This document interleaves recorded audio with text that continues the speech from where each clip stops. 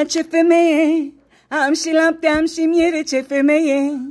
Cu ele fac gogoșele. Hei, hai vă pup! Vă invit la o gogoașă. Asta nu e gogoașa înfuriată, e gogoașa liniștită, că e cu lapte vegetal și fără ouă, de post. O minune!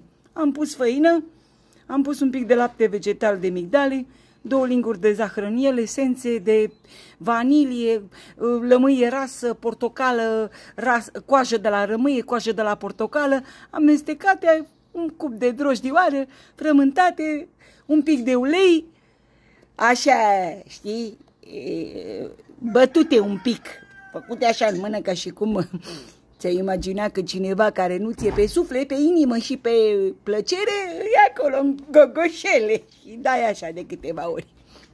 E, uite bărbatul meu, vezi mamă ce nevastă ai? Nu știe el ce-a luat, că era băut. Eu eram trează, nu dormisem vreo două săptămâni. Da decât câte o oră pe zi de focul lui eram înfocată.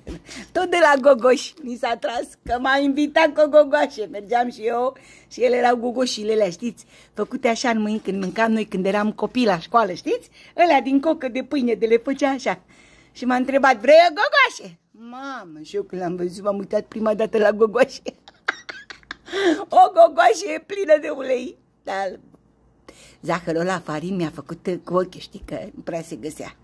Am mușcat din gogoș și pe urmă m-am uitat la el, am văzut, avea niște mâini frumoase, zic că, aoleu, doamne, m-a invitat de vreo două, trei ori la gogoș, am mâncat gogoș vreo două luni de zile, că n-aveam bani de altceva. Da, de mi se lipiseră de stomac, am făcut și eu ca să-i arăt că știu. De unde? Că nu știam.